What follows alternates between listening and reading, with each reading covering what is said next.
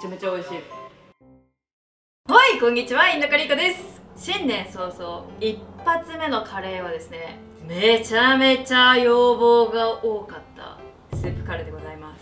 冬になるとですね1週間に1回ぐらいのペースで「スープカレーのレシピないんですか?」とか「カリコさんスープカレー作らないんですか?」って聞かれるんですけどスープカレー正直私にとってあれカレーじゃないんですよ。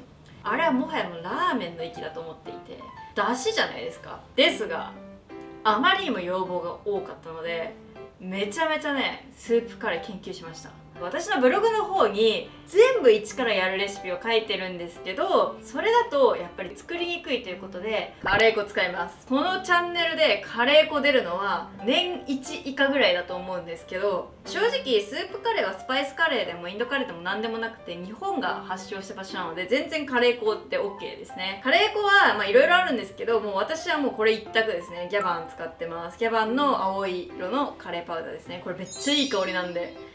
これを使ってます。スパイスはもう3つに絞ってます。まず1つ目はカレー粉。どのカレー粉でも OK です。もう2つはですねハーブになります。バジルとタイムですね。この2つがあるとめちゃめちゃねいい香りが立ちます。カレー粉の中には入ってない香りですね。じゃあ早速どんな野菜を使うのっていうところを紹介していこうと思います。今日は、えっと、冬なので基本的に冬買いやすい野菜で揃えています。まずだし野菜の部分を紹介します。だし野菜というのはですねこれがあるとスープにうまみが出るよっていう野菜で他に今日はコンソメとかだしパックも使っていくんですけどそれらにはない香りですね。まずキャベツですね。あとはレンコン。レンコンはま冬とかだと秋冬だと安いんですけど、夏とかだったら、まあ、ズッキーニとかナスとかでも大丈夫です。大根もそうですね。ズッキーニナスとかであの夏の場合は置き換えていただいていいんですけどレンコン大根使っていきます。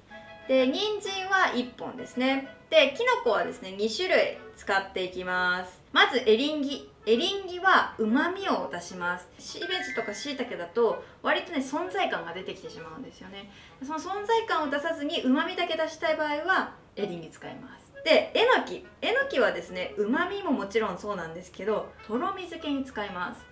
きのこをとろみ漬けっていうところなんですけどスープカレーは基本的にはシャバシャバのスープ状のカレーにはなるんですけどほんのちょっと優しいとろみがついた方が食べた時に舌触りが良くて美味しく仕上がります。それをえのきで出すのがポイントになります。ここら辺はあの全体的に香りとうまみですね。でまあいつものカレーのごとく玉ねぎとにんにくと生姜は使っていきます。だしになる部分は顆粒のコンソメを大さじ1杯。あとはね魚介の香りもすごい重要になってくるのでだしパック用意ください。私はこれかつおとかちょっとだけしいたけとか入ったこの無塩のだしパック使っていきます。次トッピング野菜ご紹介します。トッピング野菜は色で選んでください。冬安い色がついた野菜選んでれば OK です。あとは鶏肉です。あのスープカレーだと基本的に鶏もも肉で骨付きのあの大きな鶏もも肉使う場合もあるんですけど安くて買いやすいっていう観点から今日は手羽元の方でご紹介します。じゃあ早速作っていきましょうか。まずですね玉ねぎにんにく生姜からいくか。玉ねぎは1個分ですね。200g 使っていきます。今日は薄スライスでいきます、まあ、できるだけ薄くスライスした方が早く炒まるし美味しいのでサラダトッピングぐらいのレベルで薄スライスにしてあげてください。もちろんねスライサー使っても OK です。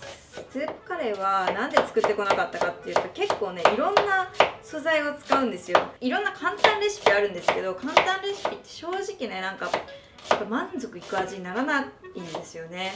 で結局たくさん野菜を使うと美味しくなるんですよ。私のもう究極のレシピで1本これが美味しいってところをご紹介して皆さん永遠に作ってもらえるようにしようかなと思っております。玉ねぎ切り終わりましたらちょっと移してもらってにんにくと生姜はおろしていきます。今日は極上のスープカレーを作ろうということで生にんにくと生生姜を使わせていただきます。にんにくはチューブでも全然 OK でございますけども生姜は正直言うとすりおろした方が美味しいですね。にんにくは3かけ分ですね。約 25g ほど使っていきます。で生姜はですね 10g ぐらい使っていきます。やば。めちゃめちゃこれ楽じゃん。え今までの苦労は何だったんだろう。これ欲しい。自分のじゃないんかいって視聴者さん思ってるけど。自分のじゃないんだよね。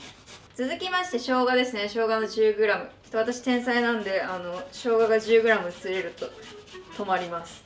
10g はねこんぐらいなのよ。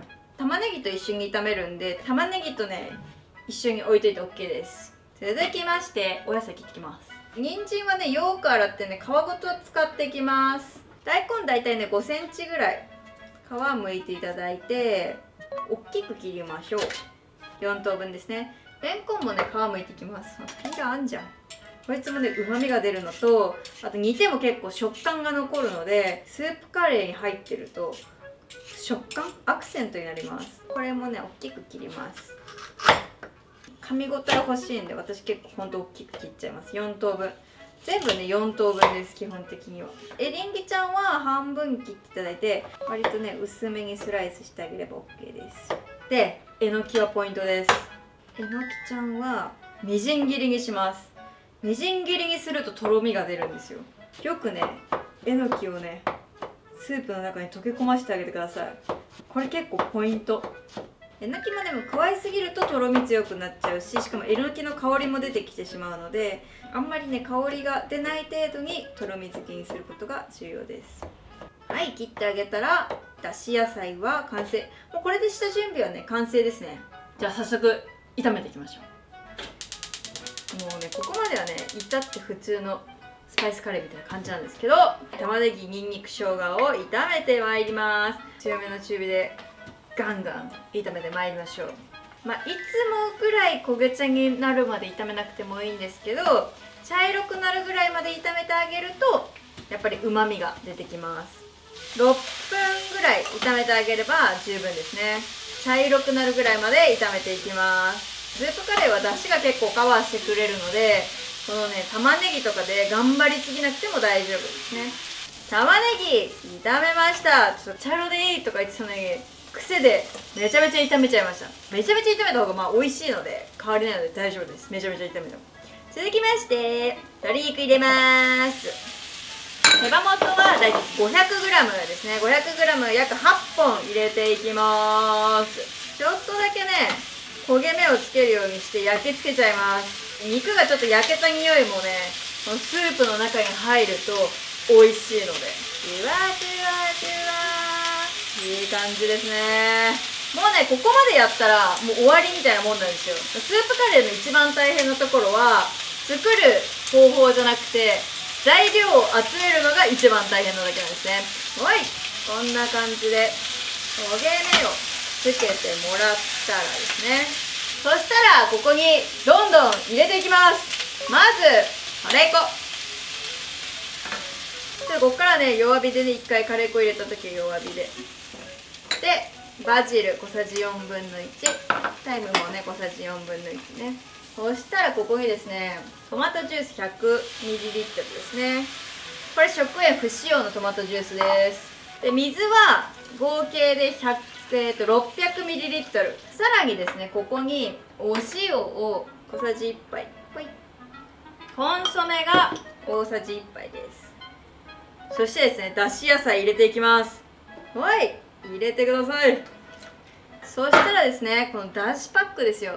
ここにですねポチャン入れてあげてください。もうこのままねずっと煮込んでいきます。最初はねこれ心配になるんですよ。本当にこれでスープカレーになるのかなっていうすごく心配な気持ちになるんですけど大丈夫です。えのきもね今原型残ってるんですけどね1時間後にはトロトロになっております。もうねこの段階だとみんなバラバラ。高校生バラバラのミュージシャンの集まりみたいな状態でもういい歌作れてない。なんですけどこれをですねプロデューサーフタが入ることによってまとまります。沸騰したらですねここから1時間ほど煮込んでいきます。弱火で1時間ほどですね。1時間煮込んでるうちにトッピング野菜作っていきましょう。トッピング野菜はフライパンで焼いてもいいんですけど私は結構あの放置したいのでオーブンで焼いちゃいます。お野菜を並べていきます。こんな感じで。で油はね引かなくて OK です。あのこっちにねしっかり鶏の油出てくるのでこっちはねヘルシーにいきましょう。それではですねこれを220度のオーブンで20分ほど焼いていきます。オープン盛り。ふわめためたね。いい香り。えのき先生がいい仕事をしていて優しいとろみがついてるんですね。1時間って言ってますけど1時間が結構最低ラインなんですよね。1時間から1時間半ほどじっくり煮込んで決めてってください。で必ず最後に味見をします。うん。バッチリですね。食塩に応じて塩味が違ってくるのであのお好みに応じて最後味整えてください。そしたらですね最後にはい盛り付けてあげたら完成でございます。インドカリーコの極上スープカレーの完成です。わーいではではではではではではではいただきます。スープカレーはご飯と食べてもいいんですけど結構私は野菜がいっぱいあるのでこのままねもりもり野菜食べて終わっちゃうこともあります。まずスープから。わあいい香りがしますめちゃめちゃ美味しい出汁が出てます。えのきちゃんがねやっぱりいい仕事してて野菜のうまみとかをまとめつつとろみをつけてくれてる。焼き野菜はカリッとこう焦げてる部分が香ばしくなってめちゃめちゃ美味しい。これこのままこう永遠に飲んでたいしうどんでもご飯でも何でも合いそう。やっぱり日本人だからなのかな。この魚介だしとかいろんなだしがあってそこにカレーがあるとすごい安心しますね。